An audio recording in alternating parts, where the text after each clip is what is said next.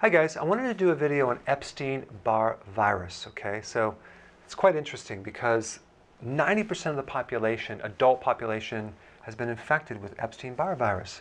Now the thing about viruses, they're not alive. They're a piece of genetic material wrapped in a sac that can get activated when your resistance is lowered, okay? So the initial infection can create fever, fatigue, inflamed throat, swollen tonsils, and enlarged spleen, enlarged liver. Uh, I, I, remember having Epstein-Barr when I was in high school. It was like really bad. It was all in my throat. And uh, they call it the kissing uh, virus because it's spread by saliva. So then over time, um, there's an association between this virus and chronic fatigue syndrome, fibromyalgia, hypothyroidism, rheumatoid arthritis, Hodgkin's lymphoma, which by the way also is caused by GMO glyphosate.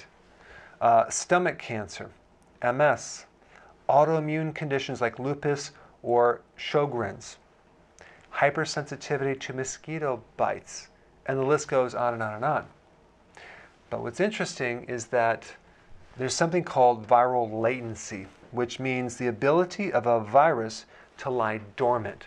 So you get this initial infection and then it goes in remission. It sits there it doesn't do anything, it just waits until it's activated. So what's interesting about this virus is once it gets reactivated, okay, only portions of the Epstein-Barr virus genes are expressed. So you can have this initial infection, but later in life, you may only have like fatigue kick in or achiness in the muscles or any other uh, additional things that can weaken your immune system to set you up for getting an autoimmune disease. So the real question is what are the triggers that would reactivate this virus that is dormant? Nutritional deficiencies and stress, okay? But I believe stress is the top right here because so many people um, they're fine, and then they have this stressor, let's say they get a divorce or something, and boom, they end up with an autoimmune disease. In fact, when I have talked to people over the last 29 years, many people that had autoimmune, I asked them when did it start and what happened just before. And one, one for one, it was either a loss or a major stress that activated the whole thing and brought this virus out of remission, activating certain genes that then lower the immune system, setting them up to get an autoimmune disease. Okay, so that's a real common mechanism. So the question is, what can you do about it? Okay, well, what you want to do is you want to support the gland that's involved with stress. That would be the adrenal gland. Focus on supporting the adrenal glands. Do things to improve it.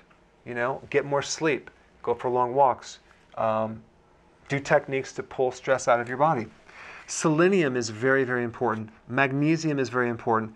Boron, the mineral, trace mineral boron, is very important in helping put this virus back in remission. There's also something called monolaurin, which is uh, uh, made from coconut oil, which is really good for viruses as well.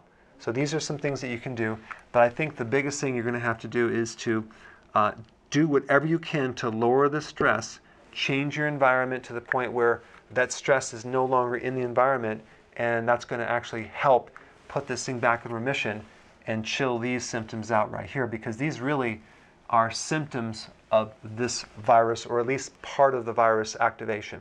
All right, so I put some links down below for some additional things you can do to actually help stress. Thanks for watching. Hey, if you enjoyed this video, press subscribe and I will definitely keep you updated.